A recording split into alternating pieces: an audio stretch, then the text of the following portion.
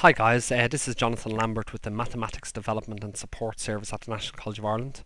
And this short video, another video in our series of videos dealing with functions, uh, is going to concentrate on what, uh, I suppose, on the definition of what a surjective function is, or a function that's also known to be also known to be onto. Okay, uh, so I suppose, well, if we want to test to see whether a function is surjective, we need to have a function in the first place. Okay, so we need to have a well-defined function, and then once we have a well-defined function, we can actually test this surjective property, okay? So let's maybe give a definition of this surjectiveness, yeah? So let's just provide a definition. So we have a definition, okay? Okay, uh, the definition is going to be something like this. Actually, just wait, I'll just change my marker there. Okay, this is after thing. Okay, so we have a definition. Uh, so maybe let me say let let A and B, okay, be non-empty, non-empty sets, okay, non-empty sets, okay. So let A and B be non-empty sets, and uh, let let F be a mapping from the set A into the set B, okay.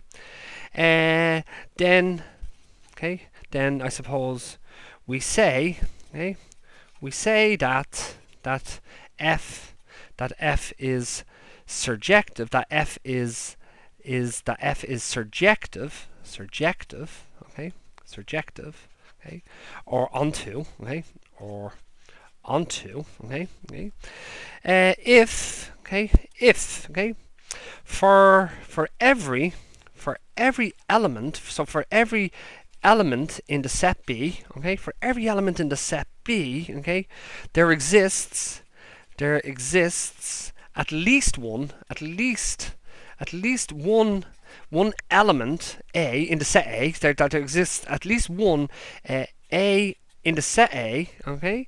Uh, such that such that f of A okay? F of A uh, is equal to B so f of a is equal to b. Okay, that's an important. This is an important definition. It's the definition of surjective functions. Yeah. So this is how we define a surjective function. So maybe just to try to to try to exemplify actually what's going on and just for our understanding, uh, what I'm just going to do is I'm just going to have a look at some some some let's say arrow diagrams. Yeah. So let's just consider consider some arrow arrow diagrams. Okay. So arrow diagrams. Okay. Uh, so let's say that we have a set, let's say we have a set A, and let's say that we have a set B, okay? Let's say we have something like this, okay? Uh, and let's say we have a number of elements here, okay? One, two, three, uh, let's say four, and maybe over here what we have is we have one, two, three, four also over here, four elements over there, four, the cardinality of both sets is four, and let's say we have a function f, the function f is mapping values from the from the domain, this is the domain, the whole set here, from the domain into the particular codomain, this particular set over here, okay? And then one thing about function is that for a function, okay, so this function is defined, the function is defined to be taking values from a into b, and we know by a definition by a definition of our function, okay, that must take every value from a into b. Okay, so actually for this to be a function, one of the conditions that needs to satisfy is that every value here must be taken to some value over here. Okay.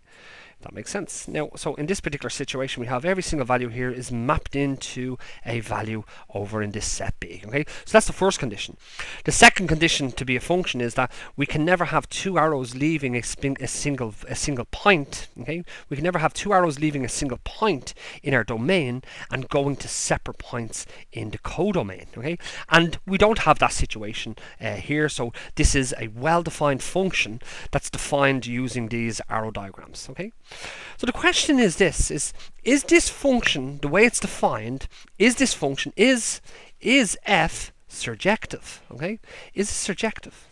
Okay so how can we figure out this okay? Well what it says is this is that for every value in b okay so here's the set B, okay, B is the codomain, okay, so for every value in B, okay, there needs to exist at least one value in A, okay, so for every single value here, we need to have at least one value over here, okay, at least one value over here, such that when I pass this value into the function, it's taken to the value B, okay, so really what it's saying is this, is that every value, every value in the set B, in the codomain, okay, every value, okay, every value here, okay, must have an arrow coming into it from some value over in the domain. Okay, so actually this function here is surjective. Yeah, okay, is f surjective? The answer is yes, it is. Yes, it is. Okay, let's have a look, look at another another example. Okay, of what might be or might not be a surjective function, and also I'm going to just look at them through arrow diagrams.